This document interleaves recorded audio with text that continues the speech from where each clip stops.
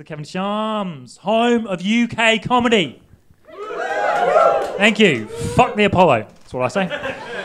My name is Joe Street, and as of signing up to this gig about three weeks ago, I have been labelled Australia's Joel Dommett, which I'm pretty fucking proud about, or I was, for about five minutes till I found out why.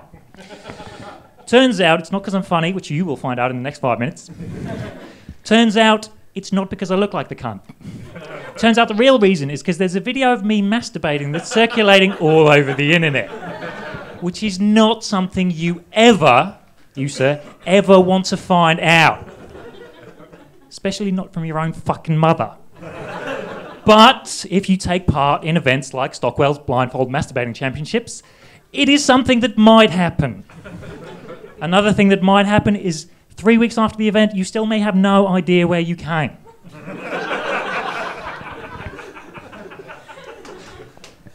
Another thing that might happen is your girlfriend might leave you. That's slightly, uh, slightly less happy. Um, but it happened relatively recently. I say recently, it was probably back in March actually, 2011. um, she, she left me because I have quite an unusual fetish, ladies and gentlemen. I have a fetish for stroking pasta. Since she left, I've been feeling kind of lonely.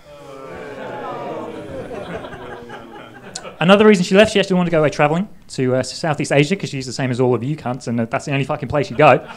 Um, so I did one of the most romantic things I've ever done for anyone. I got banknotes from each of the countries that she was going to visit, and I folded them into little origami animals because I am such a romantic cunt. Can I have a bit of a thank you, or any any sort of reaction about me being a lovely soppy bastard? Thank you, thank you very much. Uh, I actually started a ter- television channel off the back of that for origami specifically. It was pay per view. Um, but we weren't very good, so we had to fold pretty quickly. Um, so eventually, um, obviously, my girlfriend went away. Uh, she ended up in Australia, which to anyone you would think is actually not a bad place for my, my girlfriend to go away to uh, if I were Australian, which I am not. Um, I'm just a guy who fucking hates flying so fucking much that when I decided to take the trip abroad to go see her, to tell her that I still love her, uh, I was so fucking traumatized that I have not been able to get out of this fucking accent ever since. That was fucking 10 years ago. Literally, like what the fuck? I, I went, I go to the doctors like once a month, at least once a month, and they tell me the same fucking thing every every week or month.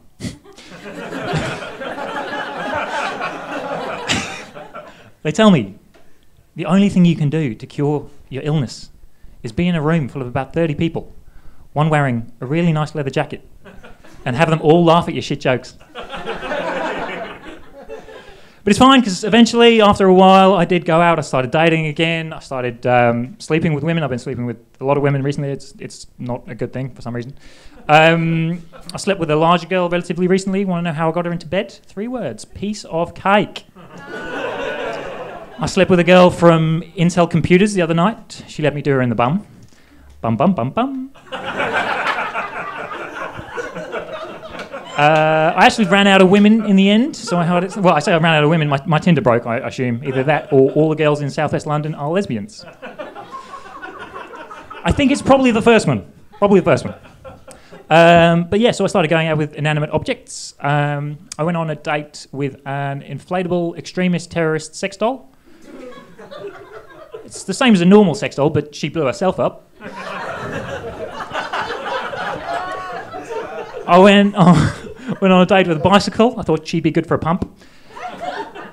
really romantic meal. Had a great time. Took her home. No sex. You know why? Because she was too tired. but it's fine because my friends are getting married nowadays. My friends are getting married, and you know what happens when people get married? They have weddings. You know who goes to weddings? Girls. You know what girls do at weddings? Fuck. Which would be great if all my friends weren't fucking posh, rich, overprivileged cunts who decide to get married at fucking broad. I've got to go to fucking Sicily next week. I've got to go to Cancun in two weeks. I can't get the fucking train to Cancun. I've got to fucking fly in a fucking tin can across the fucking second most dangerous ocean in the fucking world, the Atlantic. Obviously, the first most dangerous ocean in the world is the hepatitis C. but I don't want to fucking die at sea. I don't want to be like fucking Rose and Jack and Leonardo, all of them in the fucking film with the iceberg and the boat and the fucking all, all of that shit. The Sixth Sense. What is that's one from the nineties? Sixth Sense. The Sixth Sense, right? Or is it? I get confused because the, the, it's the lo- it's about yeah it's about the I see dead people, right? There we go. I'm going to say goodbye because I feel like it's oh, my time is up. But lovely to meet you. Look after yourselves, and I will see you soon. Take care. Joe Street, give him a round of applause. Well done,